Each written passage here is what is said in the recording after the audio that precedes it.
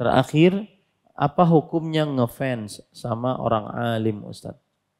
Kalau kita buka kamus besar bahasa Indonesia, ya, fan. Fan itu artinya pengagum, penggemar. Maka pada ikhwah yang dirahmati oleh Allah Subhanahu wa taala, kalau dia mengagumi dan menggemari seorang alim, maka ini adalah sesuatu yang semestinya dia harus lakukan. Akan tetapi jangan sampai dia mengagumi dan menggemari tersebut sampai kepada tahap tahassub fanatisme terhadap seorang alim tersebut. Sehingga membenarkan yang salah dari alim, menyalahkan yang yang selain alim tersebut yang dia gemari dan dia sukai. Nah ini tidak boleh. Tetapi kalau seandainya dia ngefans, mengagumi, menggemari seorang alim karena ilmunya, maka ini semestinya yang dilakukan oleh seorang muslim kepada para alimnya. Kenapa para ikhwah yang dirahmati oleh Allah Subhanahu wa taala? Karena orang alim itu mempunyai kedudukan yang tinggi dalam agama Islam. Allah berfirman dalam surat Ali Imran ayat 18. Syahidallah annahu la ilaha illa huwa wal malaikatu wa ulul ilm qa'iman bil qist la ilaha illa huwal azizul hakim. Allah bersaksi bahwa tidak ada ilah yang berhak diibadahi kecuali Allah. Dan para malaikat juga bersaksi dan orang-orang berilmu juga bersaksi dengan kebenaran bahwa tidak ada ilah yang berhak diibadahi kecuali Dia yang maha perkasa dan maha bijaksana. Di sini Allah menggandengkan ya antara persaksian Allah dengan persaksian para malaikat dan persaksian orang alim. Ini menunjukkan keistimewaan orang alim. Makanya Imam Al-Qurtubi rahimahullah berkata, "Fi hadhil ayah dalilun ala fadlil ilm." Di dalam ayat ini terdapat dalil tentang keutamaan ilmu agama wa syarafil ulama wa fadlihim dan kemuliaan para ulama dan keutamaan mereka. Fa innahu law kana ahadun asyrafa minal ulama laqaranahumullah bismih wasmil malaikati kama qarana ismal ulama kalau seandainya ada seorang yang lebih afdal daripada para ulama, niscaya Allah akan menggandengkan nama orang tersebut dengan namanya dan nama para malaikat dan nama para ulama.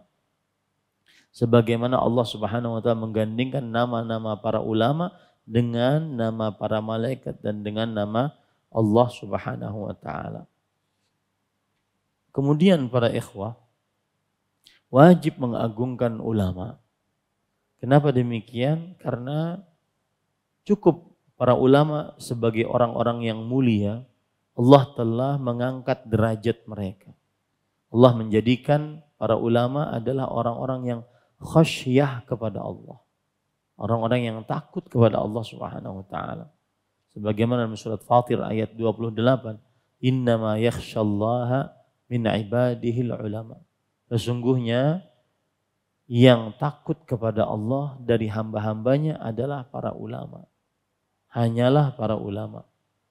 Kemudian juga Allah Subhanahu wa taala uh, menafikan penyamaan antara orang ulama dengan orang selain ulama. Tidak akan pernah sama seorang alim dengan seorang tidak alim. Sebagaimana ayat Al-Quran dalam surah Az-Zumar ayat 9. Qul hal yastawi alladhina ya'lamun walladhina la ya'lam. Katakanlah wahai Muhammad SAW, apakah sama orang-orang yang mengetahui dengan orang-orang yang tidak mengetahui? Yang berilmu dengan yang tidak berilmu tidak akan pernah sama. Wajib kita memuliakan para ulama. Kenapa? Karena Allah Subhanahu wa taala mengangkat derajat mereka.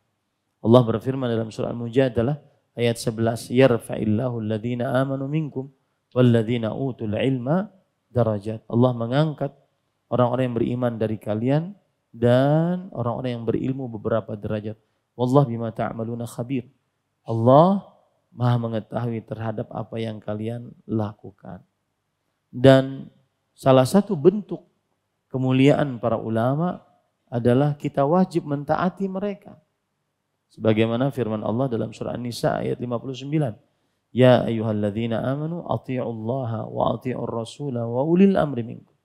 Wahai orang yang beriman, taatilah Allah, taatilah Rasulullah dan para ulil amri dari kalian. Ulul amri para ulama mengatakan al ulama. Taatilah para ulama. Ya. Kemudian pada ikhwah yang dirahmati oleh Allah, uh, di dalam hadis Rasul Sallallahu Alaihi Wasallam, Allah Subhanahu Wa Taala Rasulullah Sallallahu Alaihi Wasallam menunjukkan ketinggian derajat para ulama, rahimahumullah taala. Sebagaimana hadis ya riwayat Imam Imam, Tirmidzi wa innal alim la yastaghfir lahu man fis samawat wa man fil ard hatta al hitan fi jawfil ma. Dan sesungguhnya orang yang berilmu akan dimintakan ampun untuknya siapa saja yang ada di langit dan siapa saja yang ada di bumi. Hatta al hitan fil ma sampai ikan-ikan yang ada di dalam lautan. Ya, yang dimintakan ampun adalah para ulama. Ini menunjukkan kedudukan yang tinggi bagi para ulama. Dan kita wajib untuk menghormatinya. Karena Rasulullah SAW bersabda, wa fadlul alim ala al-abid ka fadli al-qamar ala sairil kawakib. Keutamaan orang yang berilmu dibandingkan orang yang ahli ibadah seperti keutamaan bulan pada malam purnama dibandingkan bintang-bintang. Wa innal ulama warasatul anbiya. Para ulama itu adalah pewarisnya para nabi. Wa innal anbiya lam yuwarrithu dinaran wala dirhaman. Dan para ulama tidak mewarisi para tidak mewariskan emas dan perak. Wa innama warrathul ilm. Akan tetapi para ulama mewariskan ilmu. Faman akhadahu akhadha bihadzin wa'af. Siapa yang mengambil ilmu tersebut dia berarti mendapatkan bagian yang banyak. Bahkan di dalam riwayat yang lain dari Abu Umamah Al-Bahili, fadlul alim ala al-abid kafadli ala adnakum. Lihat, wajib menghormati para ulama. Ya, terutama di majelis ilmu. Ya, terutama di majelis ilmu. Dan terutama di masjid ini. Agar lebih menghormati para ulama. Seperti ketika pengajian, ada yang menghadap ke sana, ada yang menghadap ke sini, tidak menghadap kepada ustadznya. Ya, kemudian eh, ada yang main HP, tidak mendengarkan apa yang disebutkan. Bagus kalau untuk mencatat ya. Zaman sekarang kan mencatat di HP. Akan tetapi dia main HP. Jadi di majelis ilmu malah dia sibuk menjawabi WhatsApp-WhatsApp yang ada Nah, ini tidak menghormati para ulama. Rasulullah SAW bersabda, Fadlul alim alal abid. Keutamaan orang alim dibandingkan ahli ibadah, kafadli ala adnaku. Seperti keutamaanku dibandingkan orang-orang yang rendah dari kalian. Maka ini harus diagungkan. Dan eh, kita kadang koreksi Eh, dakwah di luar dakwah sunnah. Mereka ter, terlalu berlebihan kepada tuan guru mereka, kepada kiai mereka. Tetapi sebaliknya kita koreksi juga jamaah di dalam diri kita, di dalam dakwah kita. Mereka meremehkan para ulama, para ustadz. Mereka memusuhi para ustadz, para ulama. Ya, mereka berani dengan para alim, para ustadznya, menghibahi para alim, para ustadznya. Nah, ini adalah kelakuan dan tidak beradab ketika di majelis ilmu. Nah, ini kelakuan yang eh, tidak selayaknya harus dilakukan seperti itu. Lihat hadis riwayat Imam Tirmidzi bagaimana agungnya para ulama. Innallaha wa malaikatahu wa ahlas samawati wal aradin hatta namlah fi juhriha wa hatta al-hut la yusalluna ala muallimin nas al khaira. Sesungguhnya Allah dan para malaikatnya dan penduduk langit dan penduduk bumi sampai semut-semut yang ada di lubang-lubang. Sampai ikan-ikan. Semut jumlahnya tidak bisa dihitung. Ikan jumlahnya tidak bisa dihitung. Benar-benar bersolawat atas orang-orang yang mengajarkan kepada manusia kebaikan laulal ulama lasaran nas kal kalau bukan para ulama manusia akan seperti binatang ini para ikhwan yang dirahmati oleh Allah Subhanahu wa taala. Imam Ibnu Qayyim rahimahullah berkata, "Al ulama hum fil ardi bi manzilatin nujum fis sama." Para ulama di bumi itu bagaikan bintang-bintang yang ada di langit. Bihim yuhtada al hayran fi dhulma. Dengan mereka orang-orang yang bingung mendapatkan kegelapan sebagaimana orang-orang yang sedang di dalam kegelapan mendapatkan cahaya. Wahadatun nas ilaihim a'zamu min hajatihim ila ta'ami wa syarab. Keperluan manusia kepada para ulama lebih berat, lebih besar dibandingkan keperluan mereka kepada makan dan minum. Tentu bisa mungkin dikasih oleh orang kaya makan minum. Tetapi tetapi tidak dapat dari para ulama ilmu.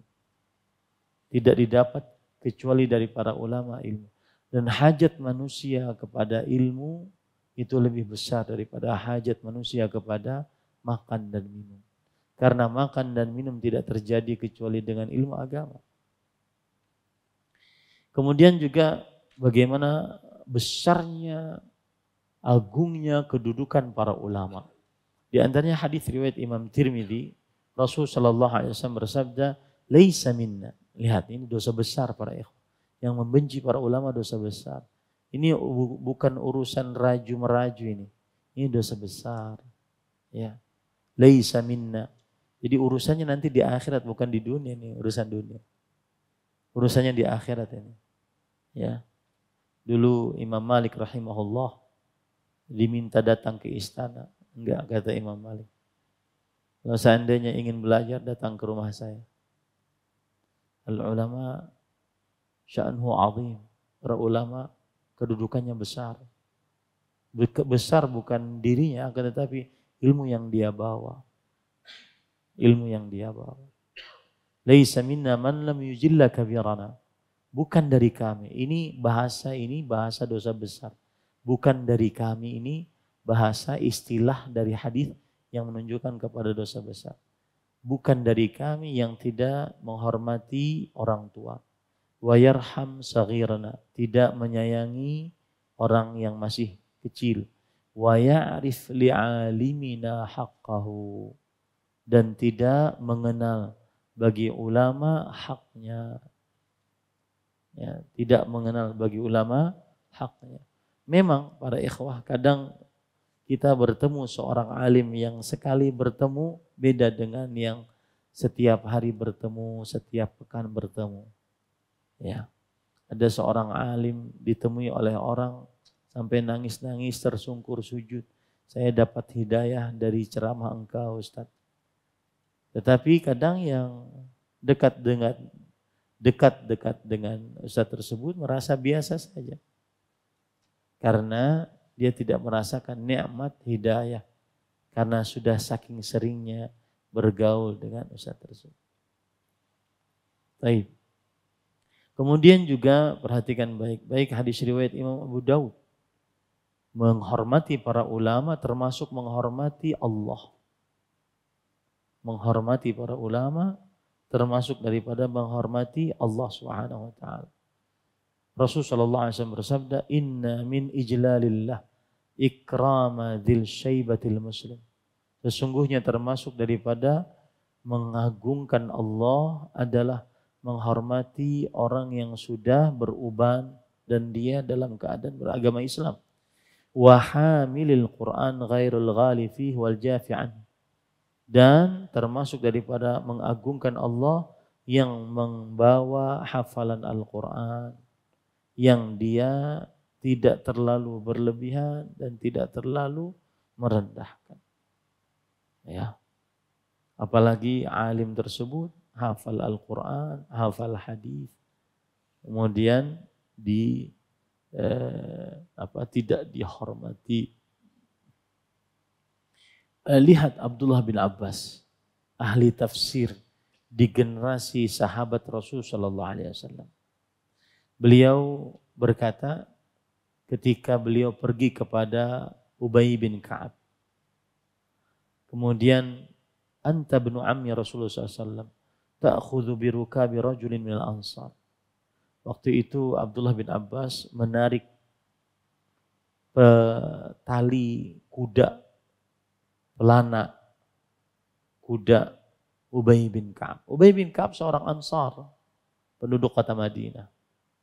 Kemudian kata Ubay bin Ka'ab radhiyallahu anhu, "Wahai engkau anak paman Rasulullah sallallahu alaihi wasallam.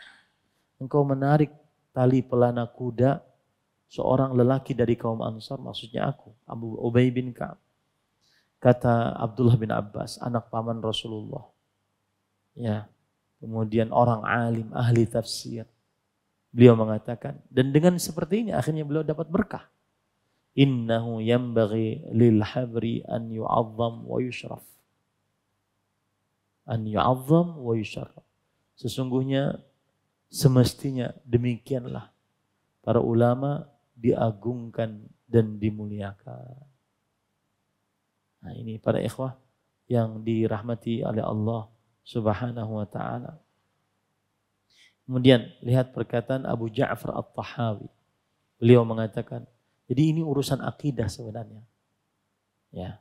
Jadi bukan urusan urusan dunia, urusan akidah yang membenci para ulama ini bermasalah dengan akidahnya dan harus diperingatkan dengan keras. Yang membenci para ulama ya, ini urusan akidah, bermasalah dengan akidahnya dan harus diperingatkan dengan keras supaya paham. Yang tidak tahu supaya paham, yang sudah tahu supaya jerak. Lihat Abu Ja'far At-Tahawi mengatakan wala wa ulama salaf minas sabiqin. Dan ulama-ulama salaf dari terdahulu para sahabat, waman ba'dahum minat tabi'in dan para tabi'in wa ahlul khairi wal athar wa ahlul fiqhi wan nazar. Mereka orang-orang baik, orang-orang yang mengikuti hadis Rasul, mereka orang-orang fikih, orang-orang ahli istihad, la yadhkuruna illa bil jamil. La yudhkaruna illa bil jamil. Mereka tidak disebutkan kecuali dengan kebaikan. Wa man dzakarahum bisu fahuwa ala ghairi sabil. Siapa yang menyebutkan mereka para sahabat, para tabi'in, dan orang-orang yang mengikuti mereka dengan baik dari para ulama, barang siapa yang menyebutkan mereka dengan keburukan, maka berarti dia dari jalan yang menyimpang. Maka hati-hati para ikhwah yang dirahmati oleh Allah Subhanahu wa taala. Allah berfirman di dalam Al-Qur'an, "Dzalika wa man yu'azzim hurumatillah fahuwa khairul lahu 'inda rabbih." Yang menghormati hal-hal yang dihormati oleh Allah maka itu lebih baik di sisi Allah Subhanahu wa taala. Para ulama mengatakan hal-hal yang terhormat di sisi Allah adalah para ulama rahimahumullah taala. Jadi intinya boleh ngefans kepada para ulama. Bahkan disyariatkan untuk mencintai para ulama. Akan tetapi jangan sampai gulu, terlalu berlebihan yang akhirnya menghalalkan apa yang diharamkan oleh Allah dan menghalalkan apa yang dihar mengharamkan apa yang dihalalkan oleh Allah Subhanahu wa taala. Wallahu alam wa sallallahu nabiyana Muhammad walhamdulillahi rabbil alamin. Wassalamualaikum warahmatullahi wabarakatuh. Terima kasih. Jazakumullahu khairan wa barakallahu fikum. Video ini dibuat atas partisipasi dari donasi Anda. Semoga menjadi amal jariah bagi Anda semuanya.